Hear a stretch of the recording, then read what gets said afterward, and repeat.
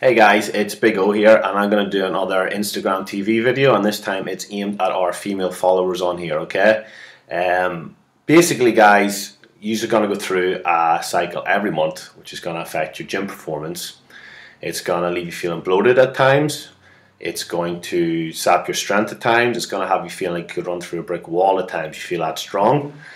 It's going to affect your measurements, it's going to affect your mood, it's going to affect energy, it's going to affect cravings, it's going to affect a fuck ton.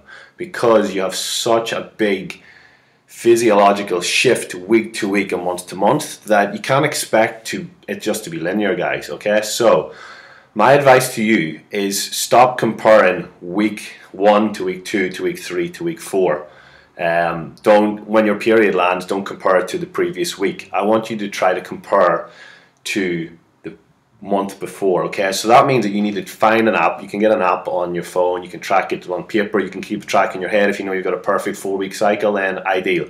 Um, if you've got a more irregular cycle, then you can sort of you're going to have to track a little bit better. That's why I recommend using something like an app.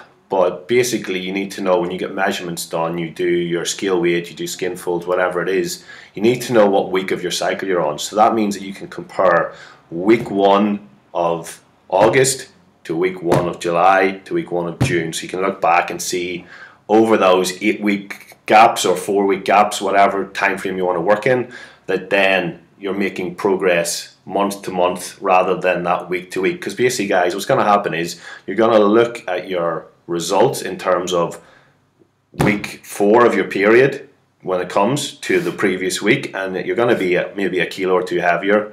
You're going to maybe feel puffy and shit. You're going to have skin folds affected. Now, I think you still should take those measurements so you can compare them, but I don't want you to get down over them, okay? So try to track them and try to compare them to the same time of your period the previous month, guys. It's pretty simple, but it's something that not a lot of coaches do.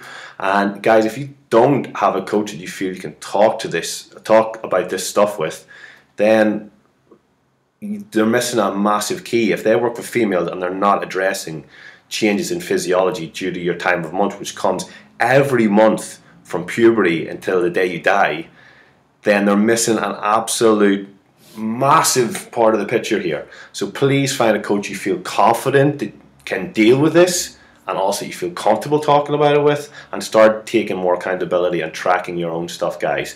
If you need a hand with anything or you want some advice on different things you can do, shoot me a message or drop a comment below and we will take it from there guys. But you have a great day and I will speak to you soon.